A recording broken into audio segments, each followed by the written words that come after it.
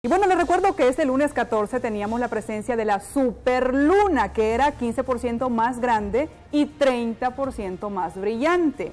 Pero ¿a qué se debe este fenómeno? Lo vamos a ver en esta nota. Un espectáculo de la naturaleza que no se había presentado desde hace varias décadas. Es la super luna llena, que saldrá por el horizonte hoy lunes 14 de noviembre, mostrando un tamaño más grande ligeramente de lo habitual. Pero ¿a qué se debe este fenómeno? Científicos aseguran que se debe a un efecto óptico que se produce al comparar la luna y el sol.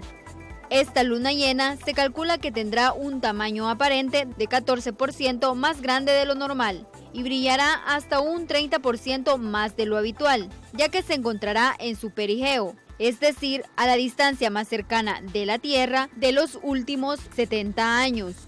Según expertos, este fenómeno puede tener un efecto en las mareas por la interacción de las fuerzas de gravedad y también sobre la biodiversidad, sobre todo en las especies nocturnas más sensibles a la luz.